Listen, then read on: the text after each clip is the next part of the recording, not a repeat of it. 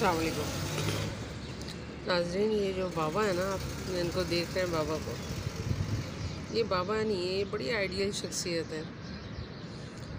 ये हम सब लोगों के लिए बड़े ही, जिसको कहते हैं, आसानियाँ फराम करते हैं। इस इलाके के, यानी नॉर्थ आज़ाद, ए ब्लॉक के बहुत सारे लोगों का जो नंबर इनके पास मौजूद है। लोग इनको कॉल करते हैं। और फिर ये फ़ौर चलने के लिए राज़ी हो जाते हैं और इनकी सर्विसेज़ होती हैं सुबह सात बजे से लेकर शाम छः सात बजे तक। इतनी शफीक पर्सनैलिटी हैं ये।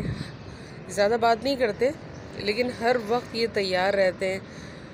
अगर आपके यहाँ दूध ख़त्म हो गया है, अगर आपके यहाँ सब्ज़ी नहीं है, या आपके यहाँ ब्रेड नहीं है, शुगर नहीं है, ये हर चीज़ को अवेलेबल करके देते हैं।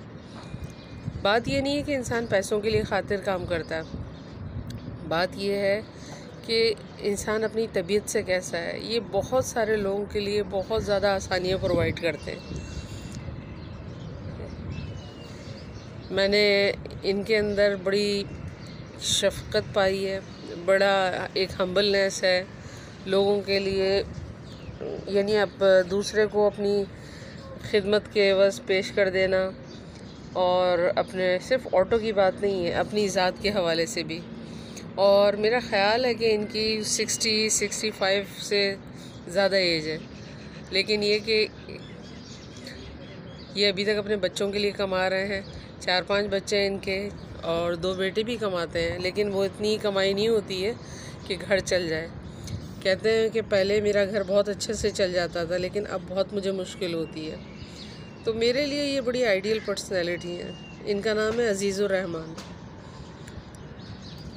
और मेरे ख़ानदान के और मेरे मिलने जुलने वाले इनको बहुत अच्छे से जानते हैं। बल्कि अगर मैं उन लोगों को इनके साथ भेज देती हूँ तो वो बड़ा सेफ़ महसूस करते हैं। खुद हमारा भी ये हाल है कि अगर हमें जाना होता है तो गाड़ी की बजाय हम बाज़ ऑटो को तरजीह देते हैं। सच अ फाइन पर्सनैलिटी ऐसे ये कुछ इनका जो पर्सनालिटी है। मेरे जहन में इनको देख के ना हज़रत खज़र सलाम का ख्याल आता है कि हज़रत खज़र जैसे लोगों के लिए पेश हो जाते थे अवेलेबल हो जाते थे, ऐसे अज़ीज़ रहमान बाबा हैं। कभी मैंने किताब लिखी तो इनको अपनी किताब में ज़रूर जगह दूँगी मैं। अस्सलाम वालेकुम रहमतुल्लाहि